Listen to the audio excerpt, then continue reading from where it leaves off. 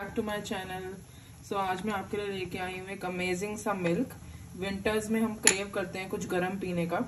तो ये आपकी स्किन को भी अच्छा करेगा एंड आपके वेट लॉस में भी हेल्प करेगा एंड आपको फिल भी करेगा।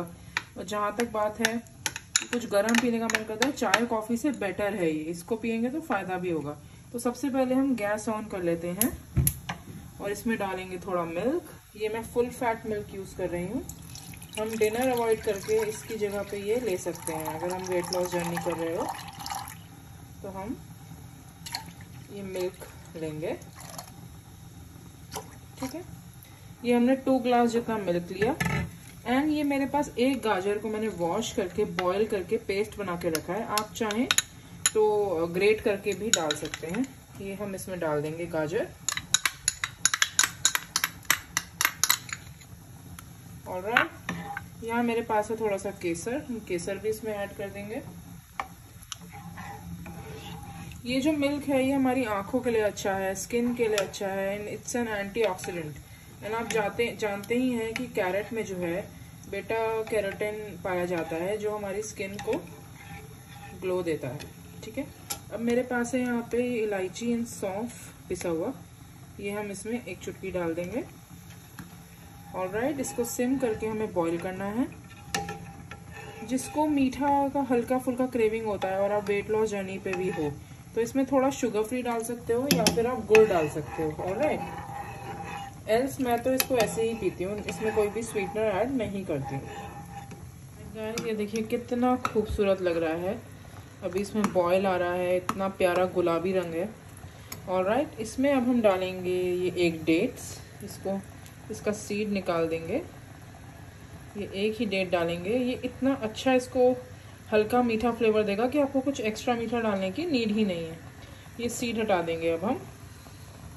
ये देखिए अमेजिंग कलर आ रहा है इसको।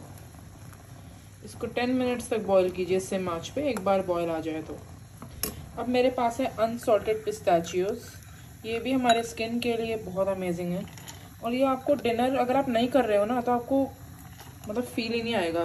कुछ क्रेविंग ही नहीं होगी। इतना अमेजिंग है। विंटर में तो इससे बढ़कर आपको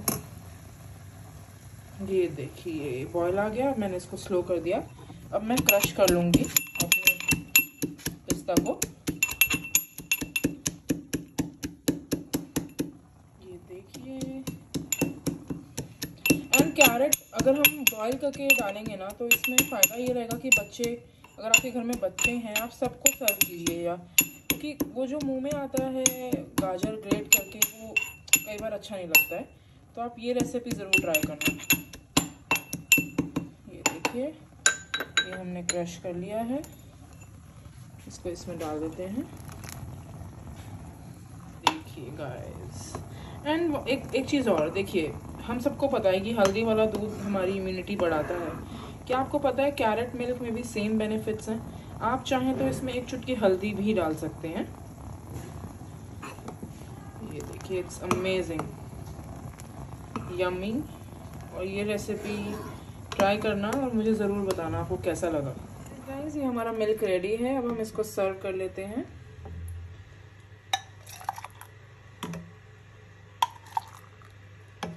अच्छे से आप इसको इसमें निकालिए एंड इन्जॉय कीजिए। ये हमारा मिल्क रेडी है और इसको हम गार्निश कर देंगे थोड़े से केसर से।